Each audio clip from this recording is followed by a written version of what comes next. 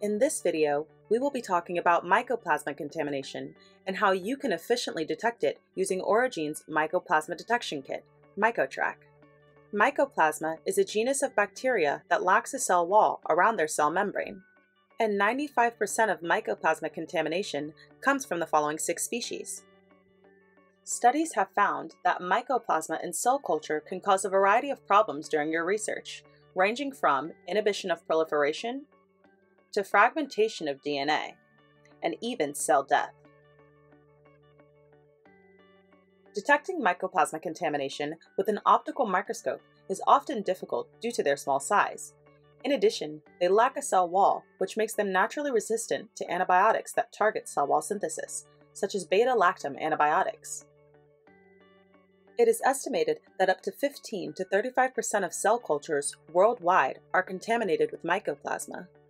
Detecting mycoplasma contamination early is the key to saving money, time, and loss of valuable products, and if treated properly, it can prevent inaccurate experimental results. Origene provides an affordable mycoplasma detection kit called MycoTrack. MycoTrack has many key features and benefits, one of them being that it uses the most simple and common molecular biology technique, PCR.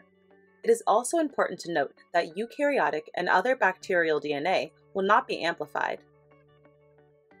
The kit also comes with an internal amplification control that is included in the PCR premix, which is 400 base pairs larger than the mycoplasma DNA, allowing for easy interpretation.